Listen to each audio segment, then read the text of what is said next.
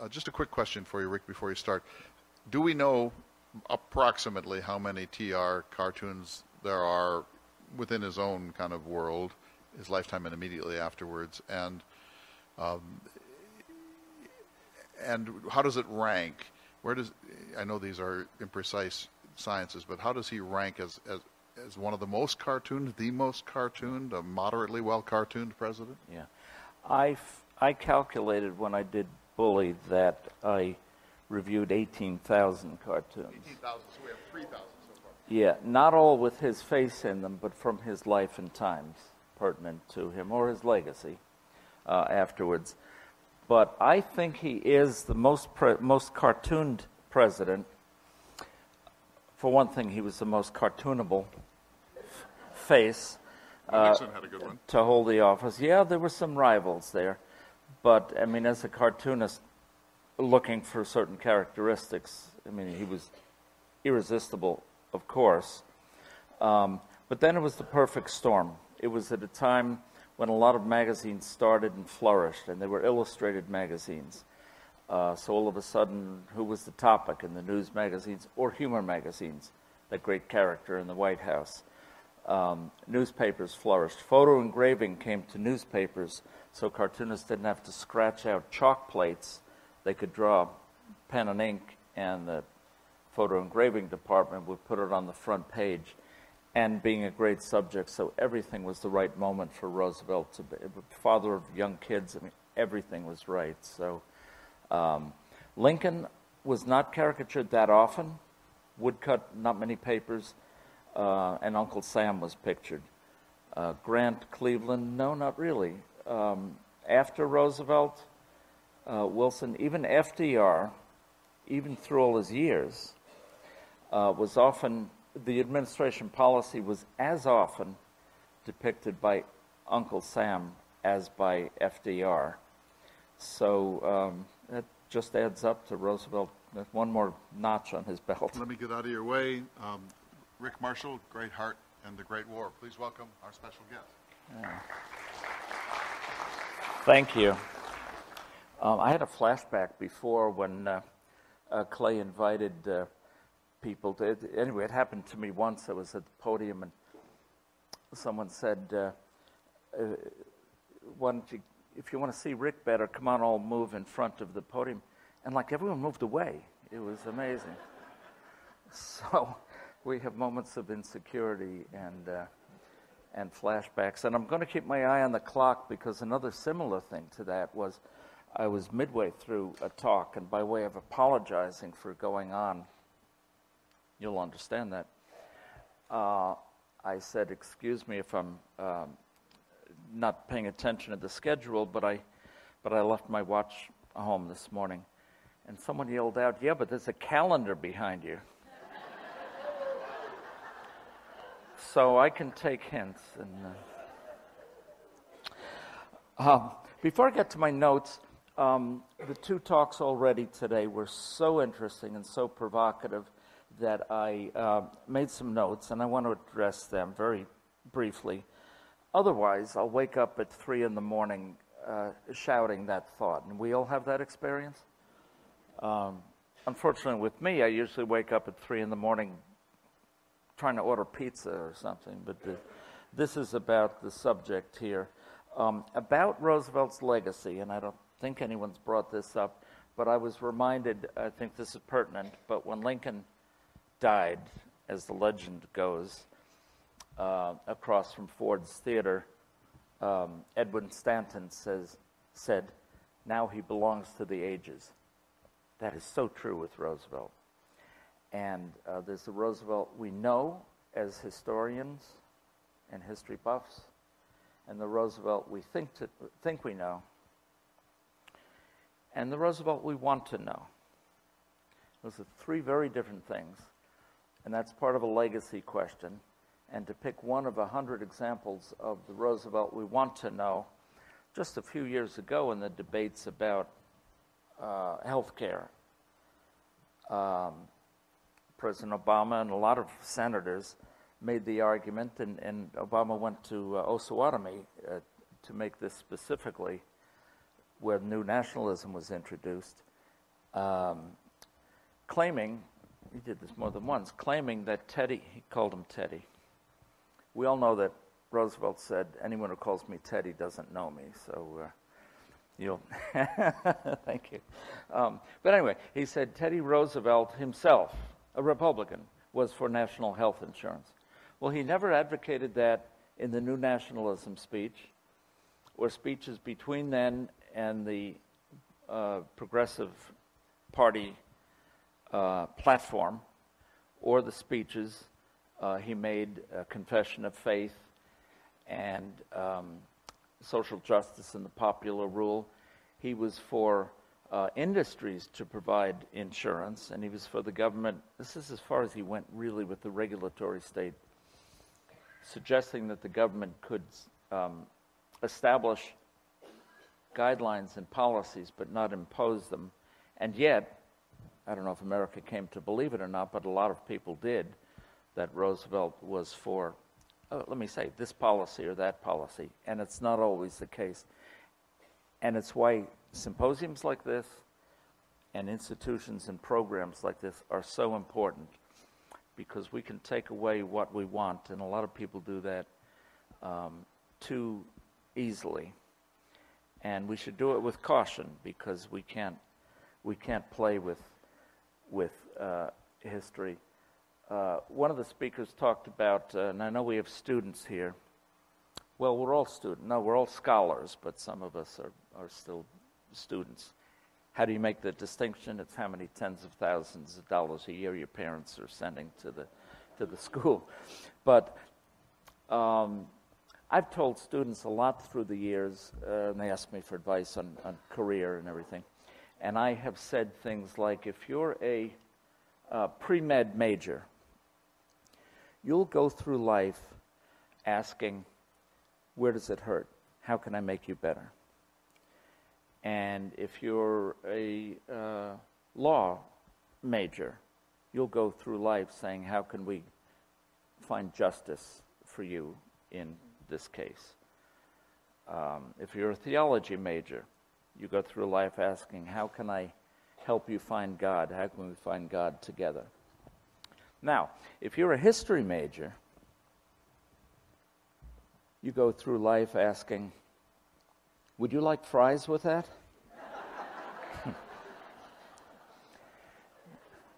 now, I don't mean that. uh, Believe me, I don't mean it. I was a history major in American studies, and I make it about sociology. Uh, usually, make the joke about sociology. But the point is, and we know that's why we're all here, history is very important. And we have all the sayings that people know about uh, those who those who don't, do not learn from history are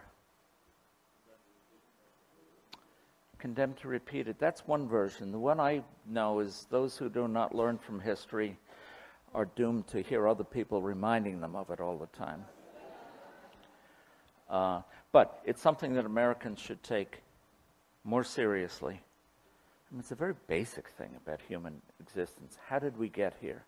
If we understand how we got here, we'll understand better what we're doing and where we're going. That's not the American style anymore. So the TRC, Dickinson State, and symposiums like this, we're at the front line of it. We're in a, um, a pattern, really, to hold back. We're like King Canute trying to hold back the, uh, the ocean, but we can do it. Uh, but we should view it as a quest, not a mere hobby. I uh, suggest to you. Um, so four years ago, the theme of the symposium was World War One. So it's appropriate that we stop. And uh, Jeffrey did talk about the war and the end of the war. Um, but a lot of Roosevelt's legacy is not just what he did during the before and during the war, and in his last months uh, afterwards and fighting the League of Nations battles and all like that. But in a real sense, a lot of what he did and a lot of the seeds he planted are sprouting today for good or bad. So it's proper to have at least one talk, I suggest, about his legacy. Uh, the anniversary of his death, and the uh, the anniversary of the end of the war that we talked about it. I'm going to ask. We've taken a lot of hand votes today, and you can call out answers if you have them, uh, and not give me ballpark numbers. But how many? We just observed the anniversary of 9/11 18 years ago. How many? How many uh, victims of terrorism died on 9 11? 3,000? Okay. I'm going to disagree with you and stick with me for half a moment. Um, in my point of view, uh, three, approximately 3,000 people were not victims of terrorism on 9 11, they were victims of murder. The rest of us are the victims of terrorism. Our lives have changed, our worldview has changed, values are upside down. Terrorism, we're terrorized for a reason. It's not merely to stop some people from breathing. And I'm not being a school marm on this. I think it's very important in history and in current events to consider the meanings of words and the effects of words and policies. So I'm going to suggest we do that now. A couple of the things about history, we know that we know that. I agree with it, of course, but the history is written by the victors. We've all heard that. Um, and we've also heard that the first casualty of war is truth. So that's the path I'm going to uh, go a little way today. Um, and I'm going to tell you, if any of you are particularly interested in World War I and Roosevelt with World War I, the books I reread um, to prepare for today, The Bugle That Woke America by Hermann Hagedorn, 1940. Uh, we tend to, those of you who know Hagedorn's work at all professionally or his writing, um, and his poems, um, we tend to take him for granted but his books were very good. The first book that really turned me on to TR was The Roosevelt Family of Sagamore Hill, 1954. And it is a wonderful book, very well written and captures the spirit of the family. Well, The Bugle That Woke America was written in 1940, and it was frankly uh, an argument for America to in, intervene in World War II. And he was cherry picking things Roosevelt did and said to make that argument. Nevertheless, since he, he knew Roosevelt, maybe the best of all people in the last year of his life, it's very valuable for that. Never Call Retreat by J. Lee Thompson. I think he's been a guest here, has he? Um, I reviewed that for the um, TRA Journal, and uh, it has its points. Uh, the Pity of War by Niall Ferguson. Uh, is not specifically about Roosevelt, but brilliantly talks about the war and a lot of the misconceptions about World War I since then. The same thing, The Illusion of Victory by Thomas Fleming, both those writers are revisionist historians about World War I. And I fall in with their lot. I think maybe the best might be Patricia O'Toole's When Trumpets Call. Michael Cullinane's book is not uh, so much about the war, but Roosevelt's Ghost is wonderful. Uh, learned a lot from Jeff's book, uh, specifically this book of his, A Mad Catastrophe, uh, which really describes what, and I've come to believe, the most useless of all of history's most useless wars. It was uh, a stain on on uh, on the human race. Of course, is uh, Edmund Morris's third book of the trilogy, Colonel Roosevelt. Then a book I particularly like and recommend to you called T.R.'s Last War by David Pietrusza, 19, excuse me, 2018, recent book. And I recommend a little bit of a tangent here. Recommend the very short last chapter of that book to you, TR's Last War, in which he speculates that Roosevelt, and he's taken Roosevelt through the teens and the reactions to the war and the battles, and including Roosevelt's health battles and everything. But he suggests, he doesn't claim, he suggests that TR committed suicide on January 6th. We know he couldn't walk across the bedroom anymore. Uh, he was alert enough to write a memo about 1920 presidential politics, but he was in pain and there was so much wrong. And he claims, this is an interesting thesis, maybe not for a full year symposium, but if you look at it, the Roosevelt family, through several generations, was marred by depression, alcoholism, and suicide. Uh, Roosevelt's uncle was involved in scandals. Roosevelt's brother uh, was a drunkard and had an illegitimate wife and uh, committed suicide. Uh, Roosevelt's son Kermit did. And he just made the point that his TR carried deadly doses of morphine in Brazil and in Cuba and in Africa in case he really needed to check out. Uh, he speculates on whether that might have been the case in the lonely bedroom in Sagamore Hill in 1919. That's um, interesting. we can go from there. Um, I'm going to give away, well, I have to give away, um, it's not a surprise, but as a reassessment of TR's wartime years, um, I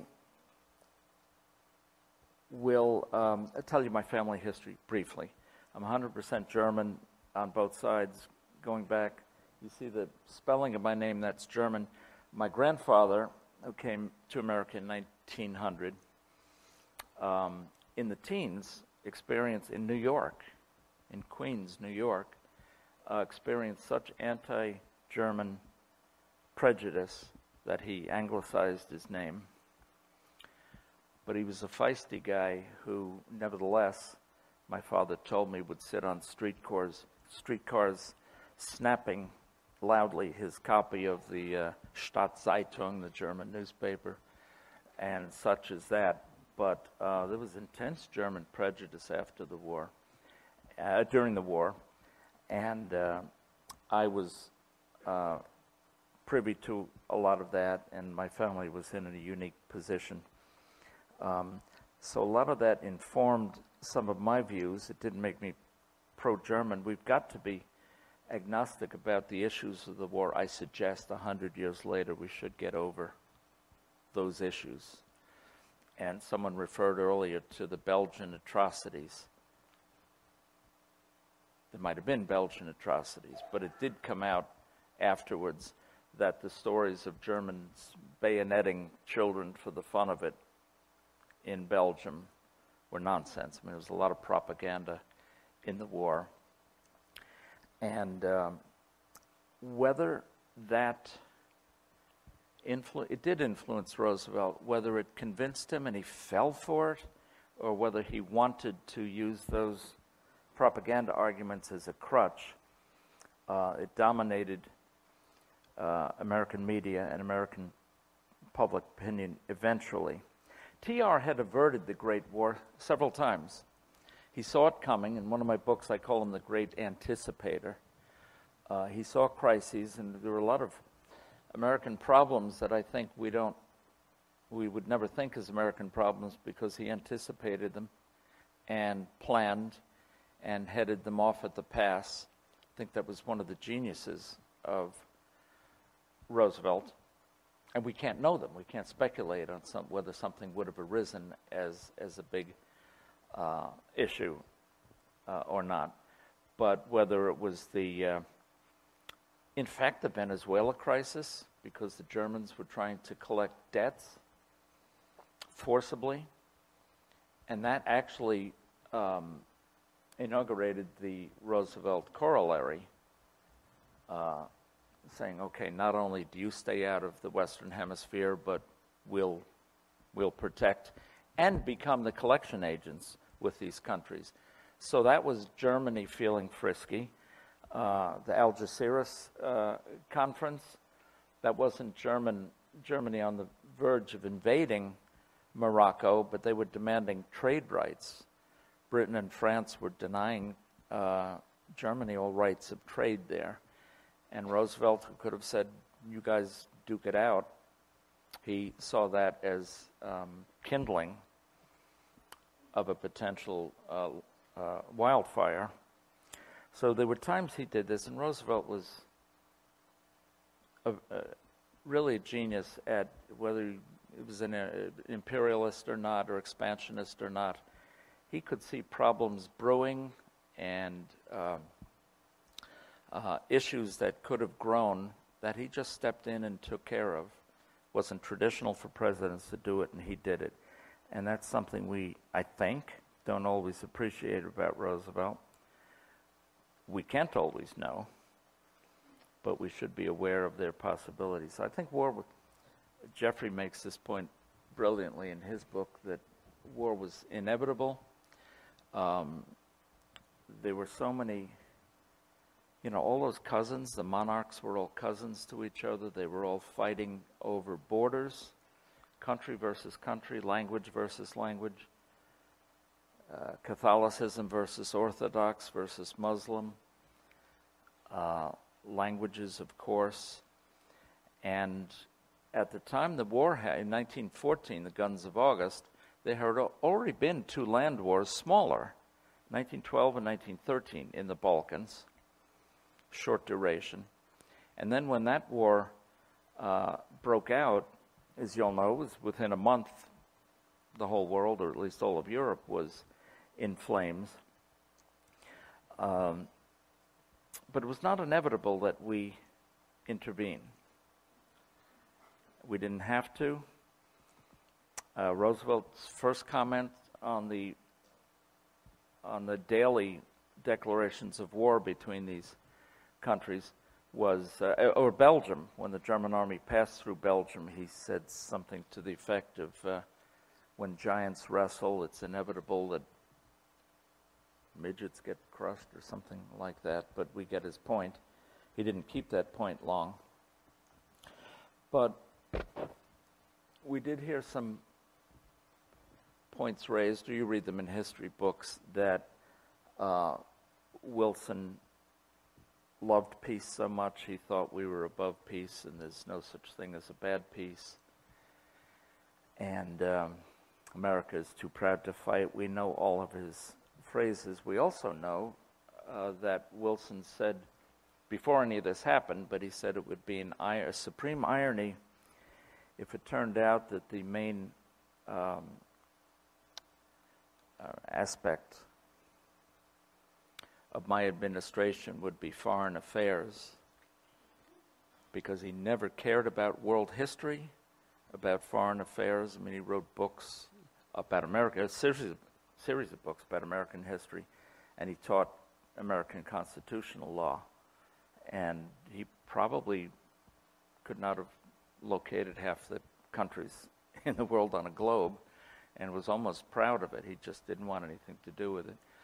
But to say that we were not involved, um, I think, is a half truth because right away under Taft and the first two years under Wilson, the military budgets uh, decreased, maneuvers stopped, um, military maneuvers, um, yes, the Army and Navy shrank in terms of number of, of peoples and, and vehicles and ships that were active.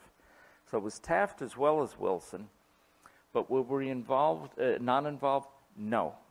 In the last weeks of Taft's administration, our ambassador to Mexico was directly involved in the murder of Madero, the president. And we know about Taft's dollar diplomacy we did throw our weight around. And if you view some of the things that Taft did and Wilson in his early months, uh, Roosevelt interpreting the, the Panamanian um, province's 800th Declaration of Independence, all of a sudden he recognized them. that looks clean and honorable compared to what America was doing month after month in Central and South America. Our hands were very dirty.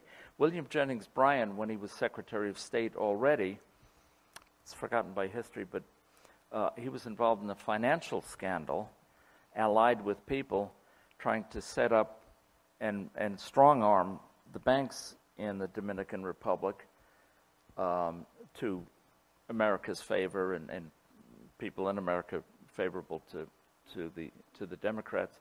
So there was a lot of that, and it's forgotten by history. One thing to pause for a second it's not just cartoons, but I've been a collector and pack rat all my life. And uh, it's not just like, you know, other people collecting matchbooks or something like that. Uh, to have long runs of newspapers from the 1890s to 1920s, complete runs of all the major New York newspapers and others, and magazines, Harper's Weekly, Leslie, Puck Judge and Life, and uh, Scribner's, and all those magazines. Um, I don't collect just for the cartoons. I collect to know those issues better.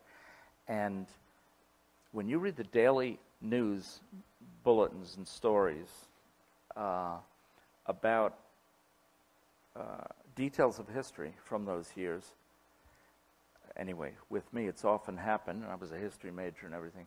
I say, how come I never heard of this? Um, so, dig all you can, and as the digital archive gets fuller, comb it all you can. Um, it's amazing what we don't know, and a lot of it's because what we choose not to know. Uh, because uh, my guess is because of current prejudices, and we just look for facts to uh, support that. Um, but Taft's arbitration mania uh, took hold. Roosevelt was not a fan from the start. Um, as I said, no maneuvers and stuff like that. And then Wilson, we were in a very funny position in 1914 when war broke out in Europe. Um, it wasn't just that Wilson thought it was not logical that we get involved.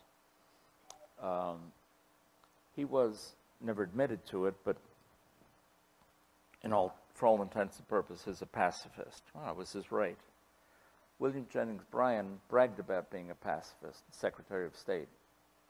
The Secretary of War was a pacifist. Publicly, bragged about it. Who would nominate a Secretary of War as a pacifist? Well, Wilson did. I mean, there's an irony in that.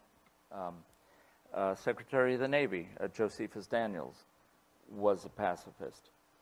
So the policy that was developing and was rolling out as the world caught f- a flame was handled very strangely. I mean, at least you would say uh, it's all counterintuitive. Uh, the other reason Wilson might have had the policies he did is that Europe and even South American countries declaring war on each other, an American island of non belligerency, um, prosperity. We went through a little uh, recession in 1913, but because of the war, almost instantly, our economy went through the roof. We had a bumper crop of, uh, uh of uh, harvest in 1914, but American banks and American branches of, of British banks were lending money to both sides, all sides, at exorbitant rates and very quickly, the European countries were bleeding themselves dry. I don't know what kind of a poll it was, but after five weeks, there were articles that uh, the majority, I don't know, I'm, this is what was written, the majority of French soldiers wished the war would end. Five weeks. It went on four years. Uh, so the countries were being bled dry, going bankrupt, and they borrowed from American banks. So we were making out like bandits, and that was one reason to stay neutral. Uh, that's a little bit of a backstory there. Um, and they sort of ran the administration Morgan, Rothschild, Kuhn Loeb. Uh, had enormous influence, and eventually Bernard Baruch, when the war started, had had great role in the uh, war policies. Uh, did you set that clock ahead when? Uh, no. How long are we going? And in conclusion, let me say. Um, so I'm suggesting to you that there was a lot of hypocrisy. Wilson wasn't a saint. Um, was Roosevelt or not? Behind the scenes, Wilson fav- massively favored England and France. Uh, silent deals, assurances, like FDR was to do with Lend Lease. We were, by law, neutrals, and yet we were sending ships and supplies and such as that. So that happened in World War II, uh, World War I also.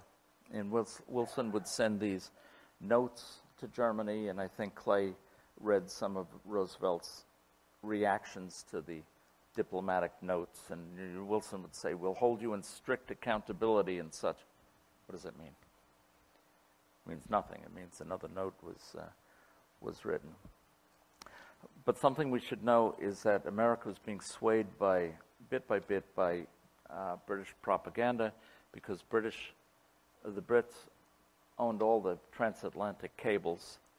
All the German ones were cut, so the news we got was either British or German news that snuck through was censored or changed. Um,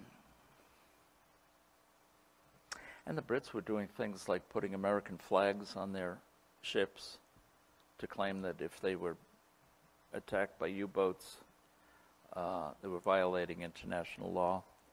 They were putting munitions, tons and tons of munitions, on passenger ships. And before, you, you all probably know this, but before the Lusitania sale, there were ads in New York newspapers explaining to people on the travel pages of the newspaper that British ships have been known to uh, ferry munitions, which is against international law. We will treat them as belligerent ships. You're hereby warned that you're taking a risk if you sail on the ships. To make it right or wrong that they sank the Lusitania, I don't know, but Americans knew what they were risking by that. Um, also, the Brits a lot were stopping American ships, confiscating mail, our mail, uh, holding passengers hostages, always letting them go, but uh, that's largely forgotten by history too. It's a two-edged thing, but that didn't upset uh, people as much.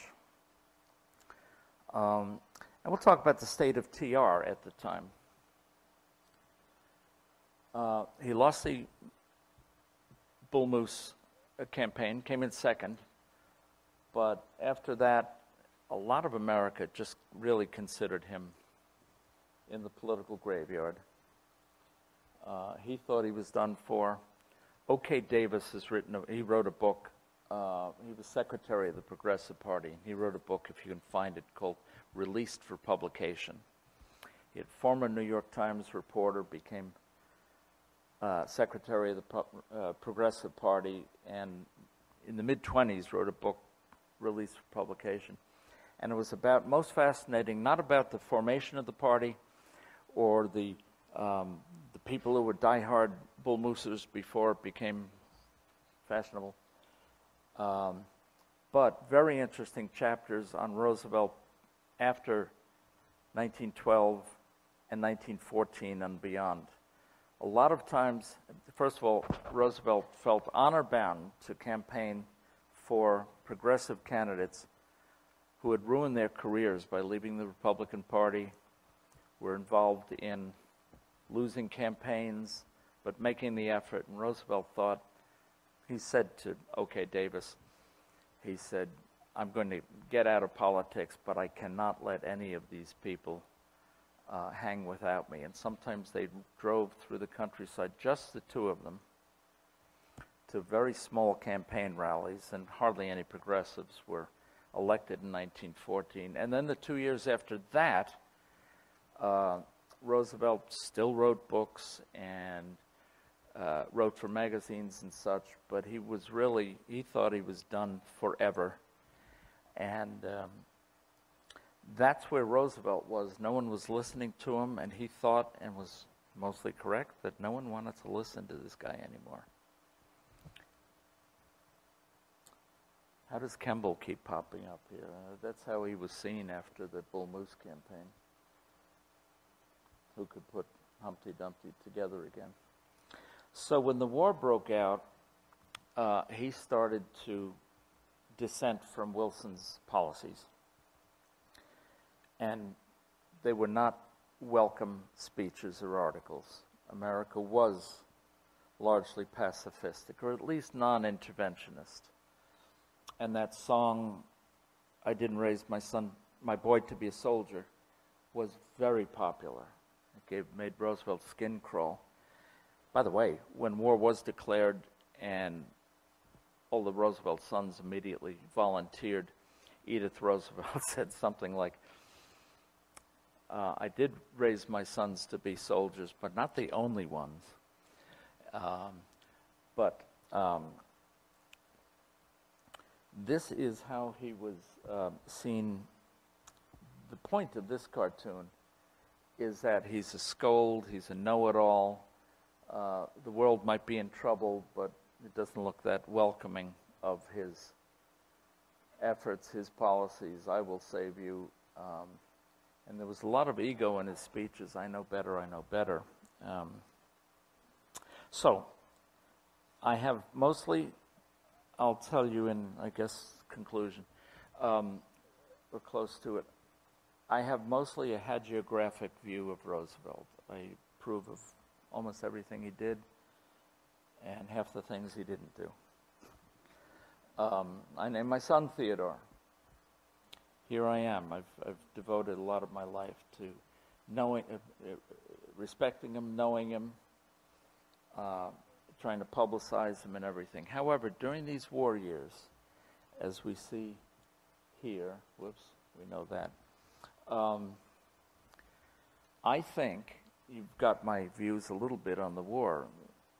Worst war, silliest, tragic, biggest mistake. And yet, Roosevelt countering American public, public opinion that really did not want to go into the war. Uh, what do I think of Roosevelt persuading America otherwise? I can't imagine that he was fooled by British propaganda. I can't think, as a student of history as he was, that um, he didn't really understand the forces at hand. Uh, but nevertheless, he was head over heels uh, for the Allies and against the Central Powers. So, for one little bit of Roosevelt's life and career, I dissent and I regret, and I think he was off the tracks then. But saying that at a Roosevelt symposium, okay, we look at the warts and everything. But if we can get past that, and he lived in those days, and he had his, he respected historical threads and all like that. What I think we should take away from Roosevelt, and a lot of historians don't, is that it was maybe the most remarkable few years of his life.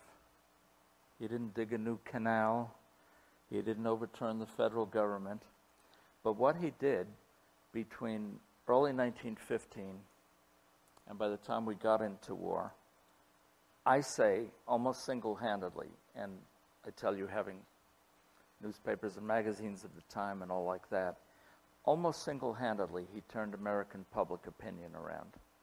He was a voice in the wilderness.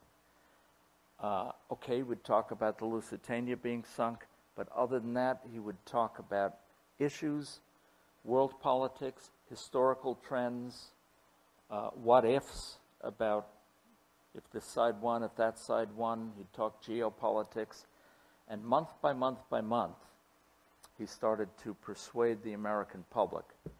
Uh, he doesn't, doesn't get enough credit for this, and if you want to say blame, but the point is, he was a lone voice in the wilderness, and he was so effective. And how many people can do this. Now, we came very close to getting the Republican nomination in 1916, but there were a lot of resentments there.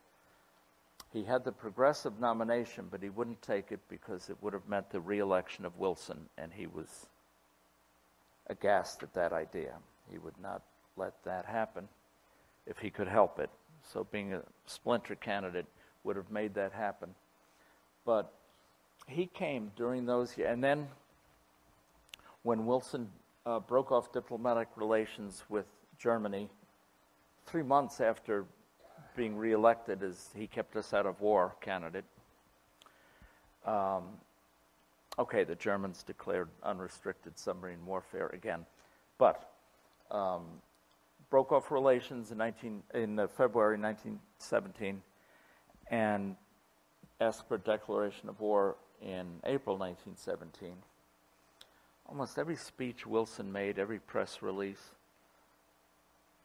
were phrases that Roosevelt had used the previous several years.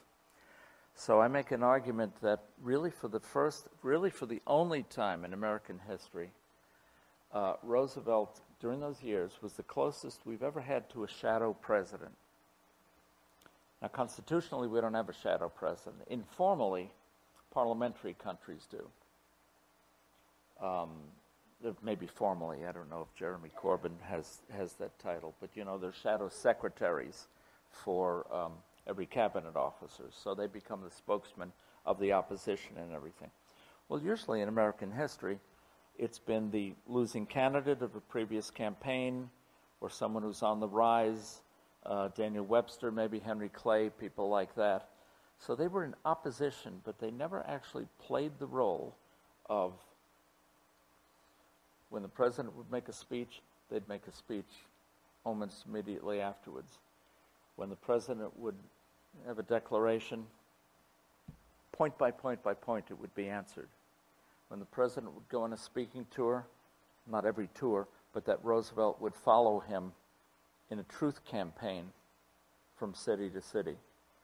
He never called himself a shadow president, but to me it's really fascinating uh, that before him no one did that, served that function so effectively, or since. That really has not been the case. We've had effective leaders in the opposition, but never uh, point by point as Roosevelt did. And it is a remarkable testament to not just his ideas or commitments, but honestly the force of his personality, that he attracted attention that he was willing to take vituperation.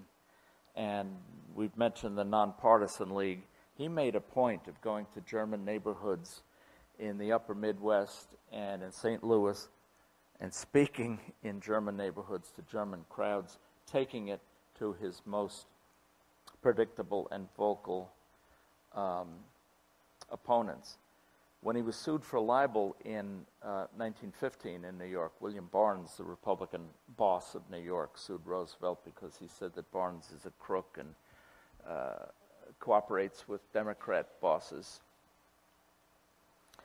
Roosevelt won, but when the jury was uh, deliberating, or maybe in the last days before it went to the jury, the Lusitania was sunk. And Roosevelt, against the advice of his lawyers and friends, uh, on the courthouse steps made public statements against the German Imperial Navy, against the Kaiser, and they said, half the Syracuse, half the jury are German nationals uh, or immigrants. Tone it down. He did not tone it down. It's not Roosevelt's style. He took it. He had a favorable verdict, but it was really remarkable what he did. It was very sacrificial he didn't need to do it, even though he burned with a passion on the subject. He laid it all out there. When we went into the war, and very cruelly, we won't go into that, but Wilson refused his um, not just uh, offers to have a Roosevelt division, but at every turn um, slapped Roosevelt down. Uh, very petty, I think. Um, he did the same with Leonard Wood, who should have been, instead of Pershing, was in line to head the expeditionary force. And instead, Wilson uh, named him be uh, as a, uh, commander of Fort Frederick Funston, I think, in Kansas, uh, training soldiers because Wood happened to be pro preparedness and started the Plattsburgh training camps and such. And um, it's a great cartoon in the last weeks of Roosevelt's life. The cartoonist didn't know this was happening. But one of Wilson's slogans was, He kept us out of war. Okay. So Boardman Robinson drew a cartoon of Leonard Wood and Theodore Roosevelt saying, Well, he kept us out of war. and between Quentin's death and how he was mistreated and mishandled by the administration at a time when they could have used him, uh, he had every right to be bitter. In a certain sense, he was. But it would be fascinating to speculate on where he would have stood on the League of Nations. He was against Wilson's 14 points, but we can't hold that against him because most of you, I think, might know the uh, the uh, characterization by Clemenceau of France, um, hearing about Wilson's 14 points. He said, Wilson and his infernal 14 points, God Almighty only has 10. and Roosevelt's proposed League to Enforce Peace, as it was originally proposed, uh, was very different than Wilson's um, League of Nations as proposed. But do we know whether he actually would have uh, opposed Wilson to the bitter end? Probably he hated him to the bitter end. Uh, he might have come up with a compromise, and Wilson might have been in a corner. Uh, Wilson made the 1918 midterm elections very personal.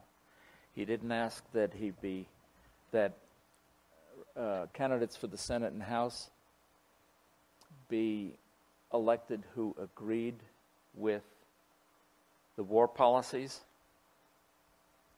the war ending just about at election day, or with a record of supporting the country or preparedness even as late in the day as Wilson did.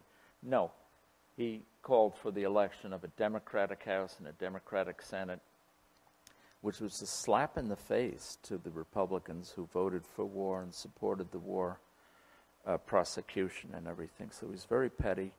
And would Roosevelt have trounced them further and taken over, especially after Wilson had that stroke and people went for months not seeing him except in a darkened room and having his wife speak for him. There's so many what ifs we don't know. Uh, but what we do know is that Roosevelt was, and I hope we don't forget it, there's a lot of history books that he was more consequential and influential during that period when America was against the war to being persuaded to join the war and then the prosecution of the war. And Roosevelt hammered it. You know, we didn't have, do people know this? We didn't have a soldier in Europe 12 months after we declared war. Is that generally known? Okay. Um, because we were so unprepared. And would Roosevelt have been precipitous? He was a great anticipator. If he had been president, he would have prepared a little better, whether formally declaring or not. He wouldn't have let it drift as Wilson did. We can assume that. Um, there are just so many what ifs connected with that that it's fascinating. But let us not forget how to me, in certain ways, that was his shining hour that he was able to turn American public opinion on its head almost single handedly. By the time war was declared, everyone was with him. I mean, half the country, all the Republicans. But it wasn't that way beforehand. And then to close, and speaking about legacy, so I think his legacy is, among many other things, individuals count, stand up for what you believe in, and if you're in a position to write and speak and persuade your fellow citizens. Follow Roosevelt's handbook. But wouldn't it be fascinating? It is fascinating if we would go home and think about this, or next year think about it. What if Roosevelt hadn't virtually killed himself the, with the Brazilian jungle fever and all that he did and the crazy abuse of his body. What if he had lived another 10 years in 1929? Would he have been elected? How in the world would he have dealt with prohibition and the jazz age and the gangster era? Really? Can we see it? Can we see Roosevelt? I mean, we, you know, Coolidge would dress in the funny in, Indian headdress and everything, but Roosevelt during the jazz age, Roosevelt talking about ragtime or Al Capone uh, weighing in on the Scopes trial. Um, if he handled the economy better, and we know he wasn't great about tariffs and economics, but his people probably would have been. Would the economy have done better? And what if there were no uh, depression in 1929? If he had lived in 1920, for sure, the Democrats would not have named the young, practically unknown Franklin Roosevelt on their ticket as vice presidential candidate. We know the only reason he was there is to get the magic name on uh, bumper strips, if there were bumper strips, there weren't. But history would have been so much different. Uh, depression or not, FDR might not have been in the White House. And we can play what if about a lot of things. What if the British had slept late uh, at, at um, Bunker Hill or something like that? But the point about Roosevelt is, and I said in the last session, that he's baked into our culture now, and it's not a mere question of what if, but we know Roosevelt so well that if we know the issues of history so well, uh, we can learn a lot by speculating. It's not a parlor game, and we can learn things about ourselves and going forward and call each other Ted heads proudly. Thank you.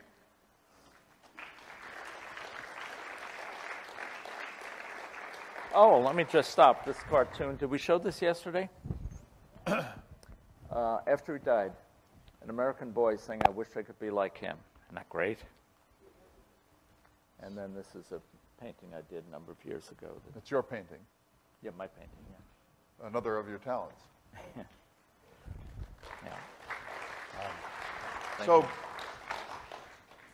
just have a little bit of time here. So you said a- a couple of really intriguing things. You said, you announced that you're nearly a hagiographer, that you, and hagiographer is someone who believes that someone's a saint. A saint, yeah. And so saint, saints' lives.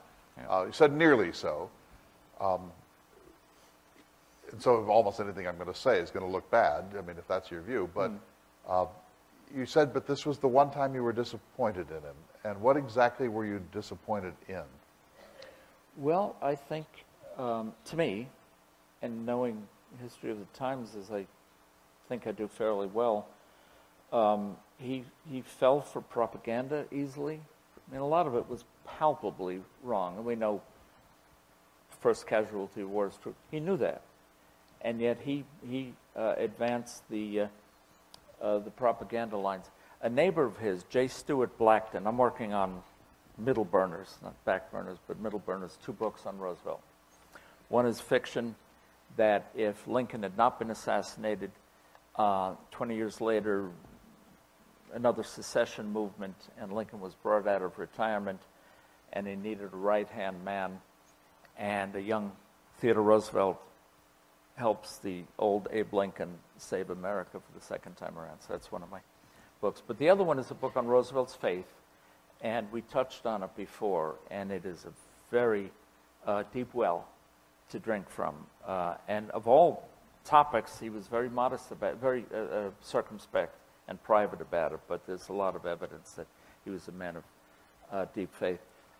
But about on this subject, um, it's just to me very hard to believe that with all his connections and all his knowledge of history and keeping in touch with current events, not just through his friends like Sir Edward Grey and everything, that he fell for such ridiculous propaganda stories. His neighbor, that was the reason I thought about the books. Another book I'm writing is uh, going to have a figure. J. Stuart Blackton is the main character. He was a cartoonist. He helped invent animated cartoons, and he was also a movie producer. And uh, so he's going to be the central character in his book. But he was a neighbor of TR in Oyster Bay. And in 1915, he produced a movie called The Battle Cry of Peace, uh, really about what would America go like if we were invaded and lost to Huns. They weren't called Germans, but they obviously were with the helmets and everything. Roosevelt uh, backed it financially. Uh, he got a lot of his friends to back it. He endorsed it as like, you know, one of 12 quotations. He thought he would hurt the cause if he were too publicly identified with it, but it was out and out propaganda about the enemies of America. And this was in 1915, two years before we got into the war. But he was already assuming who our enemies were and would be. And I'm just disappointed that, in, to me, he just didn't um, consider the issues more carefully and maturely. So, okay, so uh, fair enough. But then you also then closed by saying it's amazing how much impact and influence he had to push America into the war or, or, or to build support for it. Yeah. So, on the one hand, you're saying that he was kind of allowed himself to be duped in a war that there was no good guy or bad guy. It was just Yeah. a really bad thing. Yeah. And then, but then you're sort of giving him high praise for stirring the country into the war that you're saying that he was duped into taking the Yeah. one-sided. That's all I'm doing. I guess what I criticize others, and I hope I'm not doing, but a little bit, I am being an armchair um, psychologist. And I'm trying to thread the needle between what I think is a mistake he made in terms of policy. If we can wash that out of the discussion, discussion just an appreciation of what he did as, as a personality and was able to do almost a superhuman, first lonely uh, effort. And it's almost unprecedented in American history as well as uh, maybe not world history, but of all I know. Uh, he was very lonely at first. Let me ask one last question and see if the audience has some. But I, from someone who is not particularly a hagiographer, might say that no president has ever treated his successor worse than Roosevelt treated Wilson. Irresponsible, mean, spirited, ad hominem, cheap shots, um, using his immense authority and credibility to be savage to a person who was doing his best to steer America through a very difficult time. Um, uh, how do you respond to that? Because I By mean, disagreeing with you. you do disagree with it. Yeah, I think he Wilson deserved all that. Well, it doesn't matter whether he deserved it. yeah. But I mean, I'm, I'm sure that G.W. Bush has things to say about his successor. Presidents, generally speaking, try hard to uh, be deferential to those who follow them. Okay, that's a good point. He only used, started using those types of terms about Taft when they were in the primaries, not before him. As a matter of fact, all through the end of 1911, a lot of newspaper editorial writers, a lot of politicians, he was claimed by both sides. A lot of the conservatives thought he was still going to rescue the old guard, believe it or not. Uh, so then, after after the primaries, after he declared, and this is not written about a lot too, but Taft's people totally savaged Roosevelt, accused him of uh, dishonesty and fraud uh, during the 1907 uh, Wall Street crash and Right. Standard Oil profited and all like that. And um, that's one reason Roosevelt struck back. And then also, also not known, but the Taft administration tried to give away the majority of Alaska to the Guggenheim uh, oil interests. I don't know if Guggenheims are in oil anymore. Uh, the kind of greasy, no, I don't know. Um, but those reasons, it wasn't just ego or, or He had his nostalgia reasons. for his office. So he had reasons, and I think he did with Wilson uh, pretty much from the start. I think he was just more colorful than he needed to be, but he was Odd. TR. I'm surprised he was surprised when Wilson turned him down on that last uh, Rough Rider run. Um, thoughts, uh, questions from the audience? We have about four minutes here. Yes, go ahead. Any questions? How does he react to the coming of the penny press and the yellow journalism and the, and the, the great rise of media in his time? Yeah, um, he played them like a fiddle. Uh, for one thing, by the way, the Herald Tribune only became a paper in 1924. It was two papers before then, they merged. Um, but the, pa- the other papers, the Yellow Press and Penny Press, you'd be referring to, were principally Pulitzer and Hearst. And they were both Democrat in the um, 1890s. Yellow journalism, sensationalism. We have a front page out in the display case. Um, up to that period in the 1890s, newspapers were they were called tombs, excuse me, tombstones.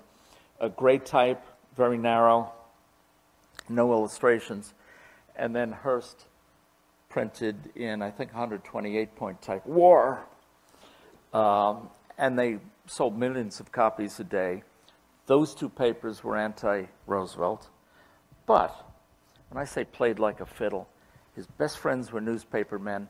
He gave a lot of um, exclusives behind this "Don't quote me," but all that business, and um, he the editorial pages might be against him. Excuse me, the news columns and edit. Thinking of Wallace, the way he talked about the publishers, editors, and truck drivers. Um, but Roosevelt had a lot of friends and a lot of sympathy amongst the press. And uh, some of the cartoons that were anti, well, we talked about anti Roosevelt, the cartoonists would see him two days later and they'd go hiking together or something like that. So he dealt with it okay, and I think, I think, on balance, he thought he was probably treated better than badly. He gave the press their first room in the White House. Yes, that's right. He created the Ananias Club, which allowed him to banish those reporters that he felt had uh, betrayed Yeah, his liars. off the records. Yeah. In the last three or minutes, you've said you're writing three books. Hmm. And one wants to be skeptical, except that you've written 70. So, Hmm. um, how do you do this? How do you do this?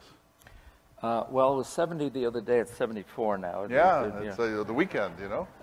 Wha- How do I do it? It's easy. I, you want to know? Yeah, Okay, I sit at my in, in desk two and a half minutes. and I look at the pile, how high the pile of bills are. Mm-hmm. And that's my motivation. I don't know. I'm, don't the Chinese have a saying it's a curse to live in interesting times. May you times? live in interesting times, May you live in interesting times. I just, my books are not all about, it's the popular culture mostly.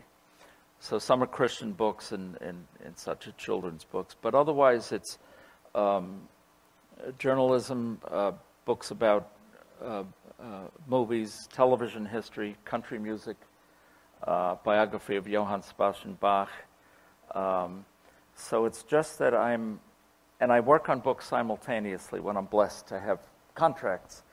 Uh, and it just keeps me fresh. It's like uh, different courses of a meal or something like that. And uh, that's how. And some of this is fiction. Actually, no, not No, it's yet. all non. The only fiction I've written so far have been uh, uh, tax forms and expense uh, reports. And, wow, it's just so easy um, to set you up. Um, so, if you. I oh, by the way, no, I've written hundreds of comic book stories. I was editor of Marvel Comics and I worked for Disney, so that's fiction too, but it's like, you know, with animals, so talking you're, animals. You're a hagiographer of TR. Are there other figures that you feel equally passionate about Yes. positively? Yeah. Benjamin Franklin and uh, Charles Lindbergh. Lindbergh, Lindbergh. our neighbor in Minnesota. There you go. And- collector of And if archives this and is such. a, a, a mean question, but if if you only got to put one of, of your 70 books in a time capsule that's your book, what book is it? I would say Bully, but it's sold out now, so there's no reason to.